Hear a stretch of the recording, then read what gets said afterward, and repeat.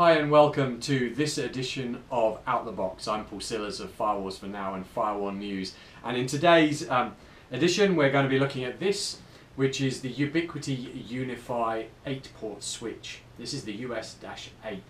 This is a um, PoE or um, powered, mains powered um, 8 port switch. It uh, only has one PoE pass through port um, but great for um, areas where you maybe can't get power to normally and you could actually power it from uh, a Cat5 cable, a PoE uh, enabled um, connection.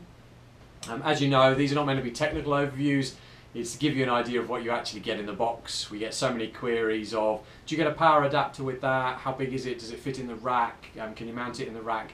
Um, so it's great to be able to see something that you get out of the box instead of just the stock images. So we're just going to crack on, open this um, box up for you. So like I said, this isn't a PoE switch, this is a PoE powered um, switch.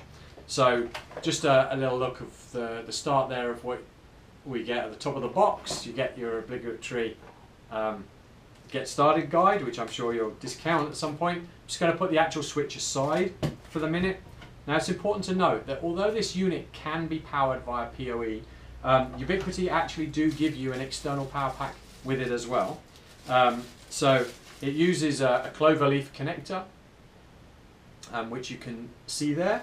Um, and again, in the box here we have um, the cable for your region. This in this instance is Australia, and again, there's the other end of the um, cloverleaf connector.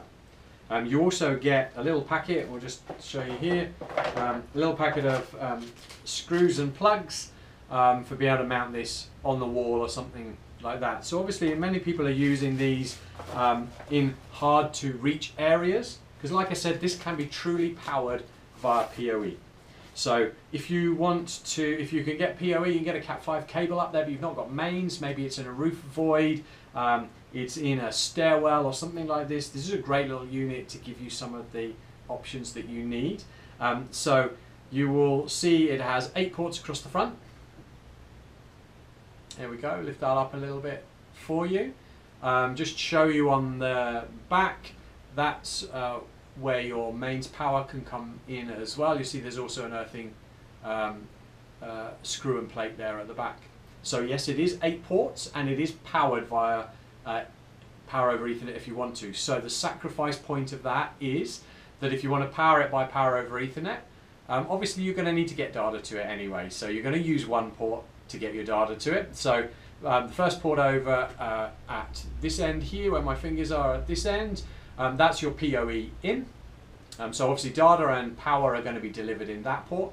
Now if you do want to then pass power out uh, to another device, it does depend on the PoE that you send in. So if it's uh, there's a table on our website that'll help your Ubiquiti's website. If you send in um, 802.3AF, then there's a different variant that you get out. If you send an AT, then you'll get um, a slightly higher out, obviously, as well. So you do have one pass-through port, which is right up at this end here.